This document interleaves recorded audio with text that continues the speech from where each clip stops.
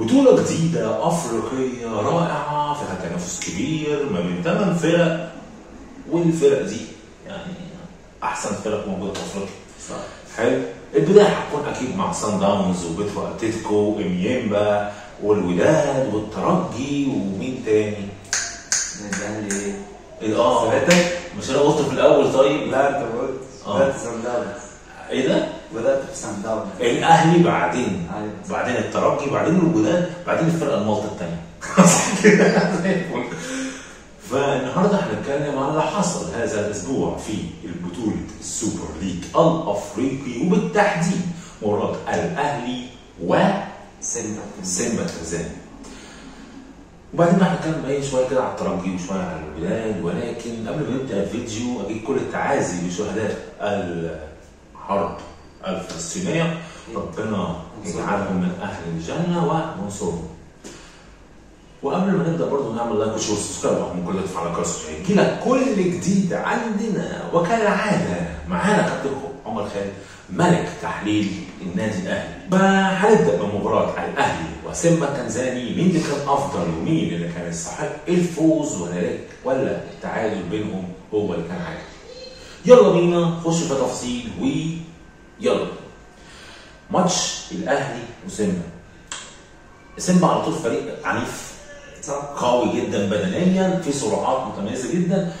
ويعني إيه في آخر كام سنة كده لازم بيخش على السيمفونيا الكورة بيطلع بالعافيه حتى الوداد لما هزموا السنة اللي فاتت هزموا بطريقة بصعوبة يعتبر.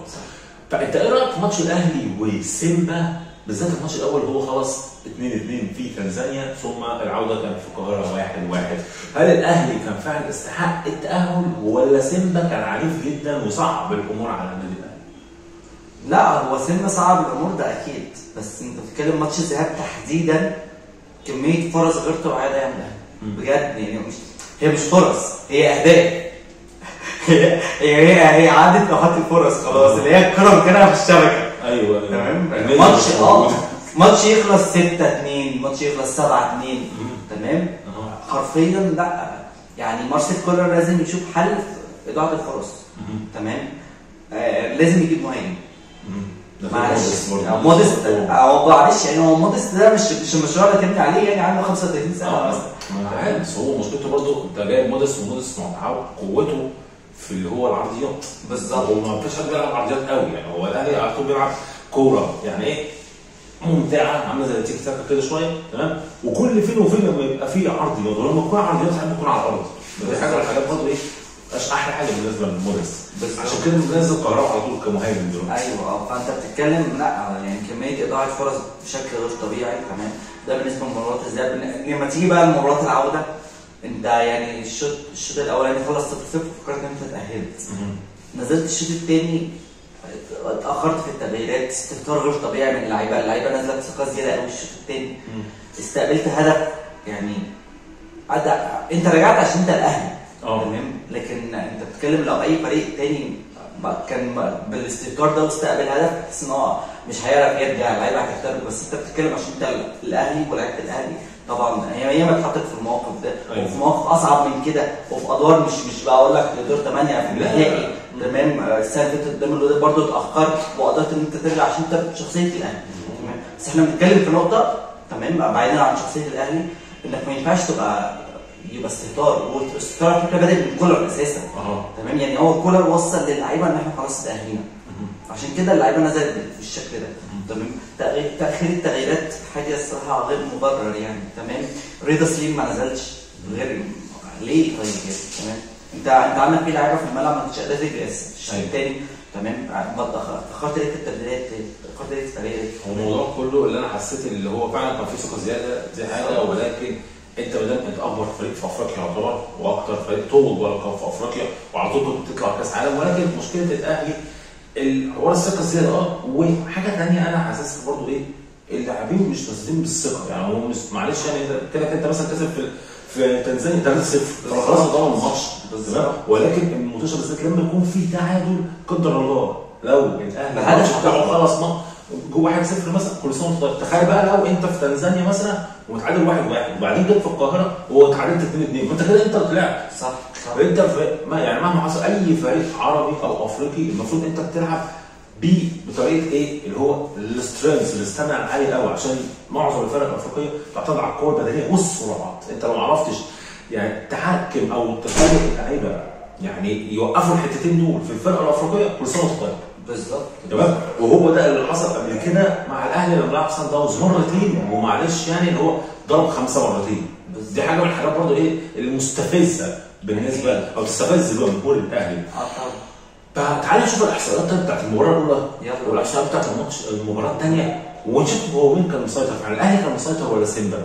بس أنا من وجهة نظري هو الماتش كان رائع. الفرقتين آه. وسيمبا زي ما قلنا فريق من الفرق العنيدة واللي ظهرت ال- السنين اللي فاتت. فكل مرة في من افريقيا اكبر أكبر فرق في تنزانيا مع يانج آه آه بقول لك تحس كده كام فريق كده يطلع لنا كده بعبع جديد. آه، يعني. سان داونز زمان إحنا ما كناش نعرفه قوي. بس كنا بنعرفه دلوقتي. سان داونز طلع وبيطلع طالع الصاروخ صح؟ فتعالى نشوف الاحصائيات بتاعت ماتش سيمبا والأهلي في تنزانيا في الأول. يلا. المباراة دي قبل ما تتلعب أصلا الإحصائيات اثنين فوز الأهلي واثنين فوز سيمبا فأنت تعتبر إيه؟ أنت داخل يعني مش هيبقى فيه رغبة ولكن برضه أنت عندك الدافع اللي أنت عايز تكسب المباراه في تنزانيا سيمبا شاط 12 كرة مقابل 13 للأهلي. الأهلي شاط شاط 13 منهم ثلاثة on target ثلاثة على المرمى تمام؟ والثلاثة دول منهم هدفين. ما ماشي. حاجة مقبولة. تمام؟ عكس الكبير سيمبا أربعة منهم واحد. هدف أو هدفين. برضه 50% هنا ممكن نقول هنا 60% بس برضه الأهلي كل فرصة يوصل فيها المرمى يحاول يعمل يعني إيه؟ يسجلها أنت في أفريقيا لو ما عرفتش تسجل خارج الديار بالذات هتقع معاها صعبة قوي طبعا. الاستحواذ كان وصل 59 بالنسبة للأهلي مقابل 41 بالنسبة للسيمبا والاجس وصل 86 للأهلي مقابل 74 لسيمبا أو 78 لسيمبا. تعال نشوف الماتش الثاني اللي في مصر اللي إحنا المفروض قلنا هنهاجم أكتر ولكن كان كولر عنده تحفظ دفاعي أكتر عشان كان أعتقد هو كان خايف من سيمبا أساسا. دي حاجة من الحاجات اللي أنا استغربتها يعني. بغض النظر انت أكبر وتاخد أكبر من سيمبا فأنت المفروض أنت اللي بالغ بالهجوم آه الأهلي شاط 20 كورة على المرمى منهم اثنين انطردوا الاثنين واحدة. هدف في إيه؟ يعني أنت شايط كتير 20. وبتضيع كتير آه. طب دي علامه استفهام كبيره ده اللي إحنا قلناه. ما هي هو المشكلة في حاجة. هو كهربا ماشي بيلعب مهاجم وكل حاجة. بس أنت برضه محتاج مهاجم finisher. ينهي كل حاجة. مودست مش سريع. بس زي ما قلت إحنا عايزين سريع. وفاهم حتة الهجوم. ده. يعني هو بالنسبة له يعني كولر بالنسبة له إيه؟ أنا عندي مثلا الثلاثي الهجومي ده ممكن نعمل switch ما بينهم كلهم. بس هل كلهم بيعرفوا يلعبوا في الود؟ مفيش غير كهربا هو اللي بيلعب صح 8 shots بالنسبة لسيمبا التنزاني منهم اثنين on target منهم هدف واحد. التركيز كان في سيمبا كان أقوى وأفضل بكتير. الاستحواذ 69 بالنسبة للأهلي مقابل 31 بالنسبة لسيمبا وال accurate pass 85 للأهلي مقابل 70% لسيمبا ده باختصار اللي حصل في ماتش الأهلي وسيمبا وتعالى بقى هنخش على ماتش خفيف كده. تمام؟ ماتش كده كده في النص كده وبين إيه؟ سان داونز بيترو اتلتيكو إحنا قلنا الماتش ده هيبقى سهل بالنسبة ليه كبير سان داونز سان داونز انجولا كسب 2-0 وعلى أرضه تعادل 0-0 فأنت بيترو أتلتيكو ده فريق غريب أساسا. صح. حلو. يكسب الزمالك ويخسر من المصيد عادي رحلات. أه. حاجة ثانية ماتش الموتوسا اللي أنا يعني بحب اتفرج عليها والفريق ده برضو إحنا كلنا بنحبه جدا. فريق مازيمبي مازيمبي من الفرق العنيدة جدا في أفريقيا. بقاله كام مرة ما بيوصلش لدوري الأبطال. آه بقاله كام سنة كده غايب أربع في سنين. كان بيلعب على طول في الكونفدرالية ولكن دلوقتي وصل ل دوري ابطال أوروبا. كان بيلعب الترجي راح في الكونغو هناك ضرب 1-0 ولكن الترجي بشهامه الرجال طبعاً. تمام. وعلى فكرة بالمناسبة الترجي أساسا أنت عارف ليه؟ هو لونه أصفر واحمر ليه؟ عشان هو بالنسبة لهم الدم والروح زي الأحمر والذهب عبارة عن الأصفر. فالترجي في تونس في رادس كسب 3 صح بصراحة هو الترجي فعلا يستحق الفوز ولكن برضه مازيمبي كان خطير في بعض الأوقات ولكن برضه إيه؟ يعني نسبه الشوط ما كانتش أعلى حاجة. تمام؟ أنت ممكن تشوط كتير على المرمى زي ما قلت لكم في الآخر بتضيع معظم الفرص. صح. فانت إيه رايك في ماتش مازيمبي والترجي وأنت كنت حاسس الماتش هيبقى سهل بالنسبة للترجي لا؟ هو زي ما أقول لك إحنا طول عمرنا متعودين. يعني أنا دايما لما بتفرج على ماتشات الأهلي ومازيمبي من من من 10 سنين تمام؟ الأهلي دايما لما كان بيروح يلعب مازيمبي هناك ملعبهم ملعبهم صعب جدا جدا تمام؟ تحس إن هو بسمته حتى في خطوط كده كده. لا ملعب غريب. ولا لا مازيمبي فريق عنيف جدا. وأنا أنا مستغرب إن مازيمبي بقاله كام سنة في دوري أبطال أفريقيا فين؟ مش موجود أيوة. تمام؟ بيطلع دايما من من الأدوار ال- إقصائية في مثلاً. الأول آه في الاقصائيه قبل دور المجموعات دايما ما تلاقيش سيمبا- آه، موجود طب فين مازيمبي تلاقيه طالع من فريق تعبان كده. يتأهل من الكونفدرالية وبعدين يقع في الكونفدرالية من دور المجموعات فده برضه بالظبط. فعملت استفهام على مازيمبي فريق كبير بس هو بقى له كام فترة غايب على على الساحه الأفريقية بشكل عام الت- المستوى التتويجات يعني أو إن هو مثلا يوصل لادوار متقدمة. تمام. فالماتش بالنسبة للترجي ظاهريا صعب بس أنت بتتكلم الترجي برضه يعني حدث ولا حرج يعني. آه هو فريق قوي أساسا فريق- مع أي حاجة بالذات في رادس في رادس هيكون عنيف قوي بالظبط يعني فريق كبير فريق وصل من آخر أربع خمس نهائيات وصل اثنين ما- واخد 2018 واخد 2019 من الولاد تمام؟ لا أنت بتتكلم فريق فريق كبير و... وفي رادس تحديدا قدام الجماهير بتاعته قدر إن هو يخلص الماتش تمام. وكان يقدر يزود الغله خلي بالك كان في آه. فرص ثانية أكتر من ثلاث أهداف كان ممكن يخلص أربعة مازيمبي تقريبا ما راحش غير فرصة واحدة اللي كانت في آه. أول الشوط الثاني دي اللي راح بيها من على الجنب وات- واتصدت يعني فمازيمبي أصلا ما كانش ليه وجود في رادس تحديدا وعموما أصلا يعني ماتش في رادس بالذات كان كان في سوء تغطية بطريقة غبية لل back left أو back right بالنسبة للاعب مازيمبي يعني أنت لو شفت تقريبا في الدقيقة 25 أو 30 كان مش عارف بن شرفيه تقريبا كورة جايب head انت لوحدك صح. حلو. وتخيل المشكلة في إيه؟ يعني تخيل كده اثنين من الترجي وفي النص واحد من مازيمبي. آه. قال لك يمسك الأول. طب والتاني اللي وراه ده أنت مش ملاحظه خالص. تمام. طب حطها مثلا في الجون وكده. أنا شوت مني.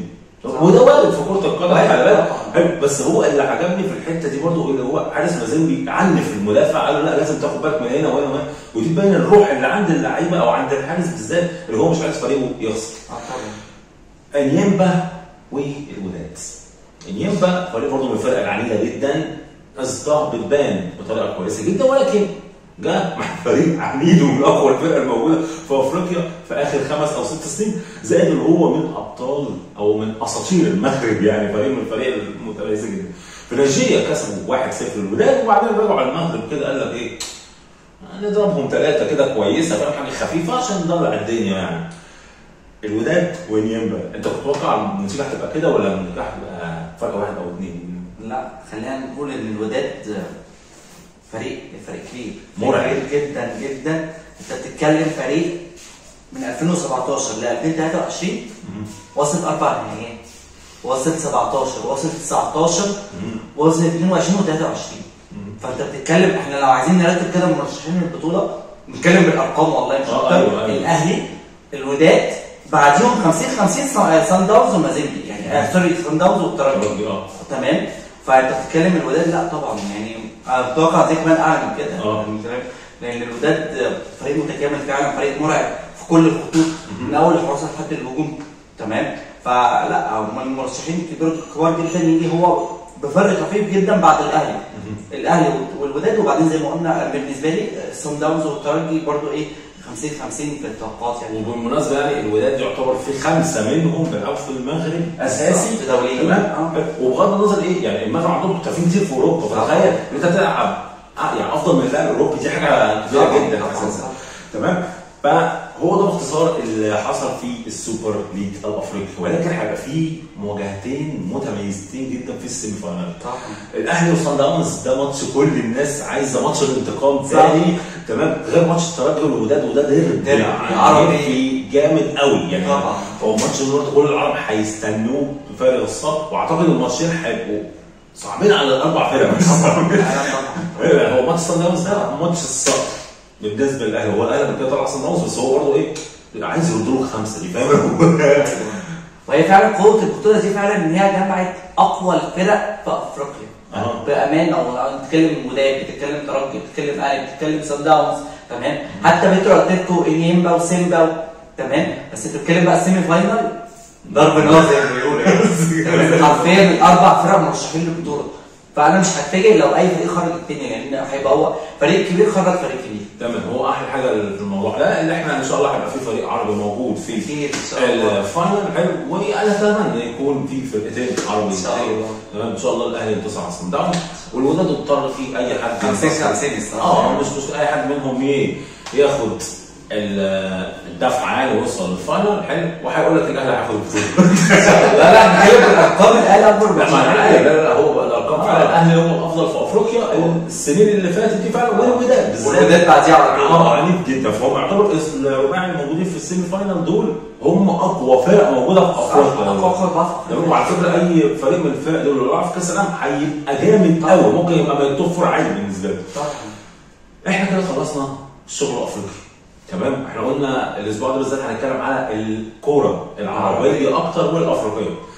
تعالى بقى نخش على دوري أبطال آسيا عشان في مجازر مجازر بتحصل فاهم؟ و score آه و score ده في فضايح حصلت يا راجل. أنت بص في بقى إيه هتحبها دلوقتي. تعالى بقى نذكر بس اهم أهم الإحصائيات فاهم؟ حاجة خفيفة آه هو الاتحاد كان بيلعب القوة الجوية من العراق عنده كسب 1-0 ما ماتش خفيف. 1-0 عادي مش مشكلة. الشارقة كان بيلعب ناصر فريق اوزبكستاني هو أكيد مش اسمه ناصر بس ماشي. يعني بس بيلعب 1 الهلال كان بيلعب مومباي يعني فريق برضه إيه محترم كده من الهند حلو هم محترفين في كريكت إحنا الهلال ضربهم ستة. بالظبط. آه. السد والفيصلي نتيجة مفاجأة كبيرة جدا اللي هو 6-0 السد على الفيصلي. في إيه يا حبيبي؟ لا score كبير. مش فاهم أنا أنا قلت مثلا الماتش يخلص 3 3 0 مثلا 3 2 ماشي. 6 0 هو فيصل ده شكله راح في داهية الأيام اللي فاتت دي. الله يرحمه لما كان بيقف قدام الأهلي. العين والفيحاء العين الإماراتي كسب الفيحاء السعودي 4 1 والنصر والدحيل هو كان الديربي وكان أقوى ماتش في هذه الجولة حتى الآن والنصر كسب 4 3 الدحيل القطري. بالمناسبه رونالدو حط جون صاروخي بشماله في حاجة بص 38 50 سنة حط جون جامد فاهم؟ الذهب لا يصدق يعني. بالظبط قوي أيوه بخروه بخروه. هل في حاجة برضه من الحاجات اللي إحنا لازم نبلغ حضراتكم عنها؟ إن شاء الله هيبقى في حاجة زي اسمها match card. هنتكلم على أبرز النتائج هو الموضوع كله مش هيبقى voice over حتى هيبقى عبارة عن زي فيديو كده بال music تمام؟ وهنتكلم فيها على إيه؟ أحسن أو أقوى الماتشات اللي هتلعب عشان الأسبوع الجاي ده هيبقى فيه ماتشات ضرب بالنهار بصراحة. حلو؟ الهلال والأهلي هيلعبوا النهارده أساسا في ديربي رائع جدا. مان يونايتد والسيتي ديربي رائع جدا. برشلونة وريال مدريد ده الكلاسيكو ده لوحده بص يعني يغطي. على مصر كلها. الإنتر وروما في إيطاليا نابولي وميلان في إيطاليا برضو. ومارسيليا وليون ماتش إيه؟ ماتش الجواريح حلوة الجواريح دي. تمام؟ فأنا أتمنى التوفيق لليوم برضه عشان فريق من الفرق الكبيره طبعا. الحمد لله. هو كسب آخر ماتش ده على شوية. طب كويس. بس هو ده كان الفيديو بتاعنا. أتمنى يكون الفيديو عجبكم. لو عجبك فعلا اعمل like و share و subscribe. اهم كل ده تفعل الجرس عشان يجيلك كل جديد كالعادة. كان معاكم مؤمن وكابتن عمر خير. شرفتنا ونورنا وسلام.